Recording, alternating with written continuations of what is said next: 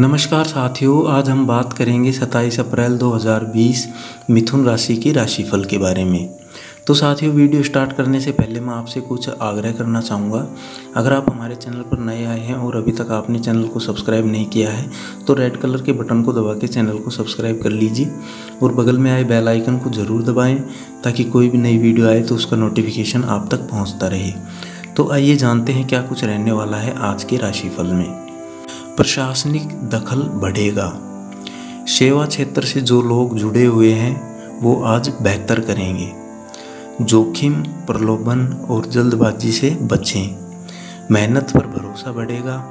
वरिष्ठ सहयोगी होंगे। व्यक्ति विशेष के प्रति आकर्षण अनुभव कर सकते हैं। साथ ही साथ व्यापार अच्छा चलेगा, परिवार से सहयोग मिलेगा। मनोबल भी बहुत ही ज़्यादा मज़बूत होगा।